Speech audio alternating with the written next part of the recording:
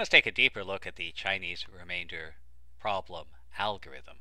And here I'll introduce an important warning. The danger of using an algorithm that you didn't create is a lot like using a power tool. Power tools are great ways of getting things done, but if you're not careful, you can do some real damage or cause some serious injuries to yourself. And with power tools, you should always read the owner's manual. And in the case of mathematical algorithms, this means that you need to understand why the algorithm works and why it won't work. So let's take a look at a problem. Uh, we want to find a number that leaves remainder 1 when divided by 3, remainder 4 when divided by 5, and remainder 5 when divided by 6. Well, again, the Chinese remainder problem is equivalent to solving a system of simultaneous congruences. Remainder 1 when divided by 3, so I'm looking for a number that's congruent to 1 mod 3. Remainder 4 when divided by 5, I'm looking for a number that's congruent to 4 mod 5. And remainder 5 when divided by 6, I'm looking for a number that's congruent to 5 mod 6. So our first step in applying the algorithm is to find a multiple of mod 5, mod 6, 5 times 6, a multiple of 30 that leaves remainder 1 when divided by 3. So I'll check it out. 30 congruent to 0 mod 3, nope. 60 congruent to 0 mod 3, nope. 90 congruent to 0 mod 3, nope. And I could continue, but it's worth keeping in mind a very useful rule of life. Once is an accident, twice is coincidence, but three times suggests that there's actually something going on here. And so let's analyze our failure. Uh, so the problem is that when we found these multiples of 5 times 6, this number was always divisible by 3, so we could never get a remainder of 1 when divided by 3. And, well, why did this happen? Well, we might note that a multiple of 5 times 6, since 6 is 2 times 3, this is also a multiple of 3, and so this will always leave a remainder of 0 when divided by 3. And what this suggests is that if two divisors are not relatively prime, we might not actually be able to solve the Chinese remainder problem because those divisors will get, in some sense, tangled up. And, well, if the divisors aren't relatively prime, we should uh, we should see if we can solve the problem by modifying our approach in some fashion. So here the apparent problem is the divisor is 6, and we need a number that has remainder 5 when divided by 6. Well, let's see what we could do about that. Suppose I have a number n that has remainder 5 when divided by 6. Well, I know that n is 6k plus 5. It's 5 more than a multiple of 6.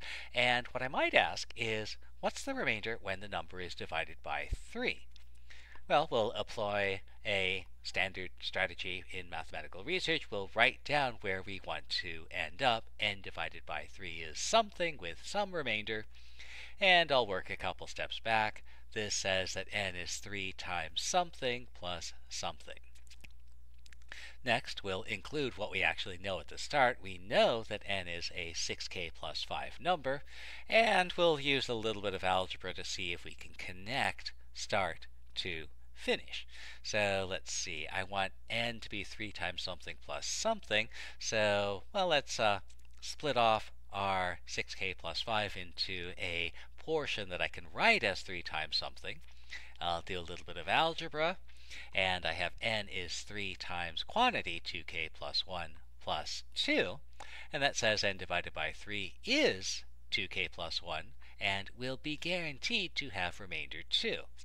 And what this means is that if I have a number that has remainder 5 when divided by 6, that number must have remainder 2 when divided by 3. And this tells us two things.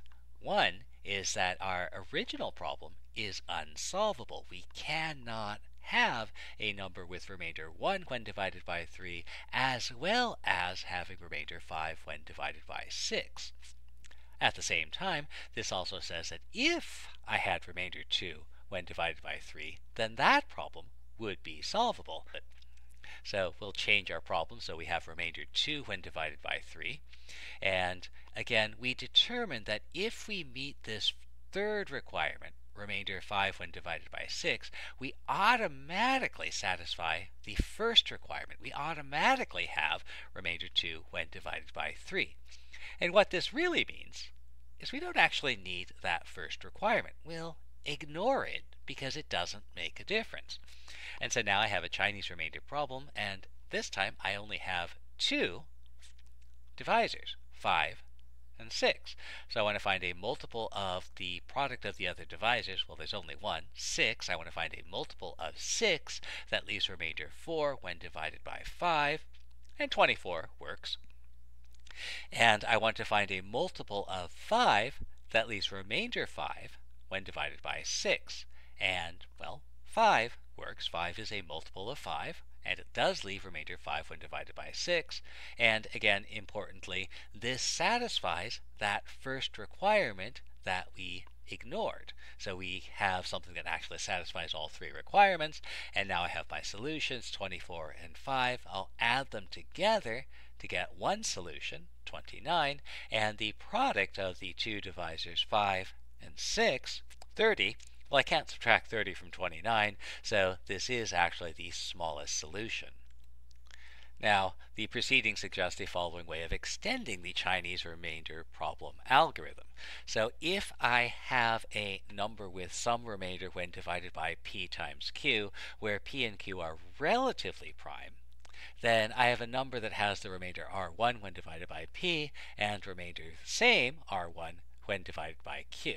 Now, remainder here should be taken with a little bit of a grain of salt because we may have to do something to modify those remainders. Uh, we'll see how that works.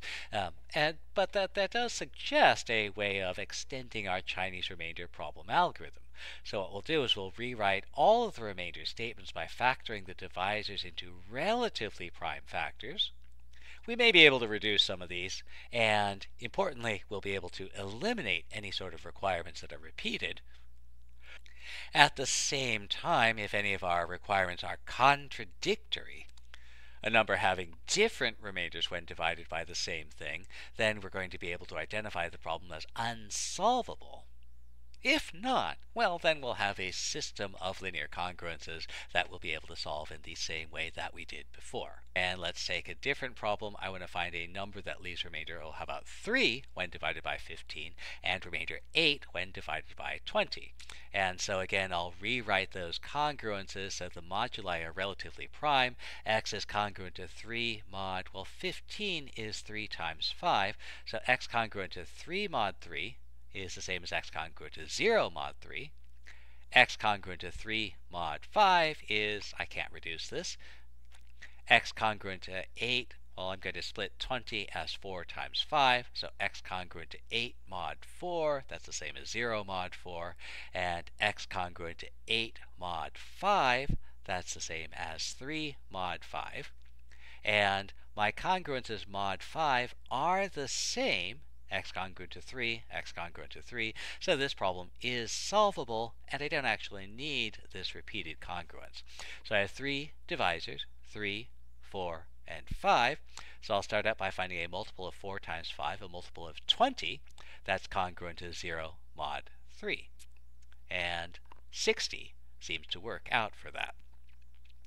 Next, I'll want to find a multiple of 3 times 5, that's congruent to 0 mod 4.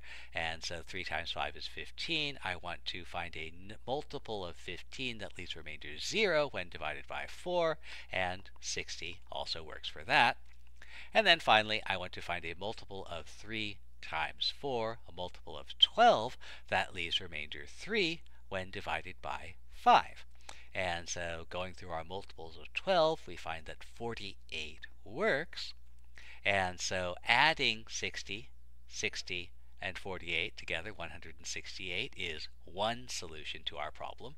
And I can repeatedly subtract a product of our divisors, 3, 4, and 5. 3 times 4 times 5 is 60. I can repeatedly subtract 60 until I get a smallest possible solution. So 48 is going to be the smallest positive solution to this problem.